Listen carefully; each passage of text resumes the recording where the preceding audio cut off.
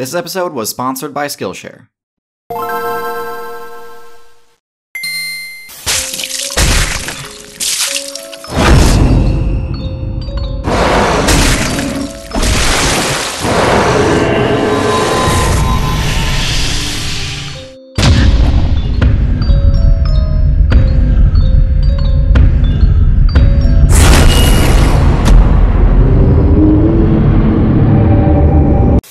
Of the most controversial balance updates the devs have ever introduced was patch 1.3.1, the update which banned and nerfed the vast majority of dinosaurs, marine reptiles, and pterosaurs. And so it should come as no surprise that one of the requests that the devs get the most is to reintroduce dinosaurs back into the game. The devs have never unbanned any classes before, but what would the meta look like if the devs actually obliged and allowed players to spawn as dinosaurs again? Well, to answer that question, we first need to understand why dinosaurs were banned in the first place. And believe it or not, I was actually given the opportunity to ask one of the devs this very question. So a lot of people have been wondering, why were the dinosaurs banned?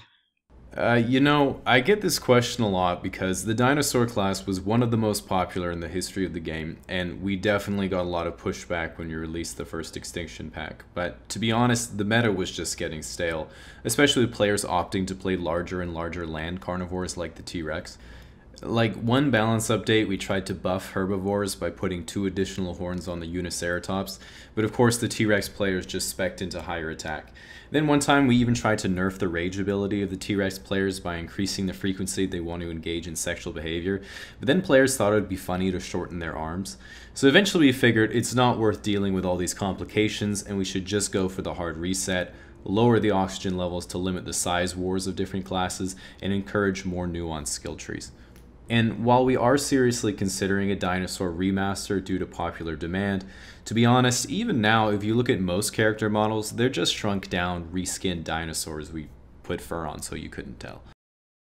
Thanks so much. I really appreciate you taking the time to comment on this matter. Okay, so what would it look like if dinosaurs were unbanned? First, let's talk about dinosaurs in general. The dinosaur build's main advantage is its massive size. At fully grown, the only things that could take it down were other giant dinosaurs and potentially pack hunting builds. While size is an advantage on defense, it can be a challenge for overall survivability. Dinosaurs require a massive amount of food, potentially more than the current game could provide. And so if the devs were to unban dinosaurs, they'd likely also need to buff the spawn rates of pretty much everything. Your average dinosaur build also tends to be pretty modest when it comes to speed and intelligence, having speed comparable to an elephant and intelligence comparable to crocodiles. This means that most of the current top tiers will outspeed and outsmart them on a regular basis. Yoink. But this isn't the case for all dinosaurs, so let's get into the specifics now. Let's start with the herbivores. So I don't think hadrosaurs would be very viable at all, seeing as they have no good defensive abilities to protect themselves with. Their best trait is that they can communicate effectively and keep watch over each other. But the best hunters today rely on stealth, a strategy specifically meant to get around this problem. Hadrosaurs would be great at spotting tall carnivore players from far away, but not stealthy builds that stay low to the ground and move through the bush. Now you might be thinking, oh that's no problem, the herbivores could just outrun them, but large herbivores had much lower mobility than today's top predator builds. They'd be most comparable to an elephant like I said before, but where elephants lack in mobility, they make up for with intelligence. You can't say the same for dinosaurs. But not all herbivores would be in such a bad position. Hadrosaurs lack any form of weaponry, but other herbivores are much more well armed.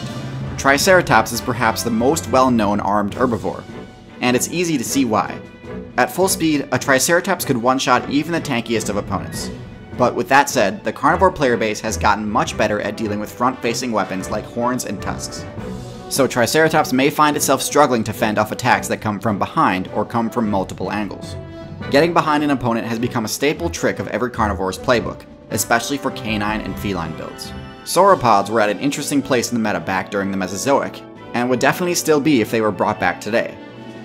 Their late game stats were simply impossible to beat one on one. No other land build has ever achieved even close to the same base stat total. Even the top predators of the time barely stood a chance, even in teams. But they only reach this potential in the late game and have relatively few defensive options during early and mid game, aside from just relying on high level teammates. This means that their teammates need to be able to stop an attack before it's too late. Because of their extreme height, predators would just about never be able to sneak up on a sauropod clan in an open field. But approaching using stealth isn't the only way to catch a vigilant opponent off guard. Hiding in trees is another option, one that's employed by some of the most powerful builds of present day. Big cats tend to target the neck of their opponents, and, well, it would be pretty hard to miss. Even the top tier Jaguar probably couldn't one shot a high level sauropod, but all of the arboreal big cats would definitely be a problem for juveniles. Potentially so problematic that not enough of them would be able to reach the late game to defend the lower level players. It's hard to say. Overall, they could be completely viable or completely helpless, not much in between. In my opinion, the herbivore builds best suited to survive in the current meta would be the ones with tail weapons, specifically Stegosaurs and Ankylosaurs.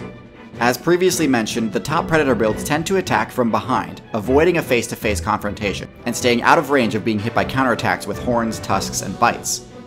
This strategy works great against the tanky herbivore classes of present day, but an attack from behind would be an awful idea against a build with a club or thagomizer, in addition, the armor on their back would make it much harder for assassin builds like Big Cats to land their critical strikes. Of all of the herbivores, I find these to be the most likely to become top tier if they were unbanned. Now onto the carnivores. So this might be an unpopular opinion, but I don't think large tyrannosaurs would fare well in the current meta. Tyrannosaurs are min-maxed to optimize for damage, which was great when their goal was to be able to bring down tanks with HP levels as high as the dinosaurs. The only build of present day that this would be important to have against would be the elephant. And while that is important, having only one good matchup is not a top tier strategy. All elephant players would need to do to counter this specific tactic is spec into slightly higher mobility, since the T-Rex's top speed is extremely low compared to builds of present day. Smaller tyrannosaurs like Albertosaurus and Daspletosaurus would still be viable though, since they haven't sacrificed as much mobility as the T-Rex has. Mobility really is the name of the game for predators right now, and it's the reason that I'd put dromaeosaurs like Velociraptor and Deinonychus as the best contenders for being too OP for the current meta. And not just because of their excellent mobility, but also because they really wouldn't need to adjust much from their playstyle in the Cretaceous. Raptor builds in the Cretaceous preyed mostly on small animals like prehistoric mammals, and occasionally banded together to take down midweight and heavyweight builds. This niche is still very much available today, and raptors would have little trouble in combat versus builds like possums, raccoons, and birds. This is the same role that the fox and coyote occupy right now. So the question then becomes, could raptors compete with them? In one-on-one -on -one combat, I do think raptors have the edge. While raptors do have lower HP than any canine, they also have much more burst damage potential. Canines use the persistence hunting strategy and need to land several attacks in order to bring down a target. Raptors, on the other hand, deal much higher damage because of their sickle claw that can potentially one-shot an enemy. Both employ team strats, and both have high mobility and intelligence. So all else being equal, the ability for raptors to outdamage the canines would in my opinion win them the day. So overall, if individual dinosaur builds were unbanned, the Stegosaurs, Ankylosaurs, and Dromaeosaurs would most likely be top tier, while the others might end up struggling.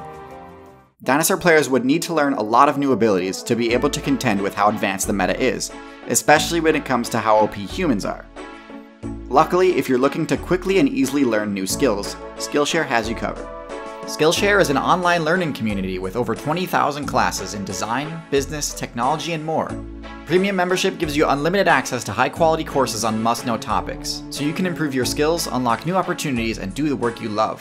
I especially love their course on motion graphics, which is taught by the folks behind In a Nutshell. Join the millions of students already learning on Skillshare today with the special offer that's just for my subscribers. You can try Skillshare for free for two months by using the link in the description. Act now for the special offer and start learning today.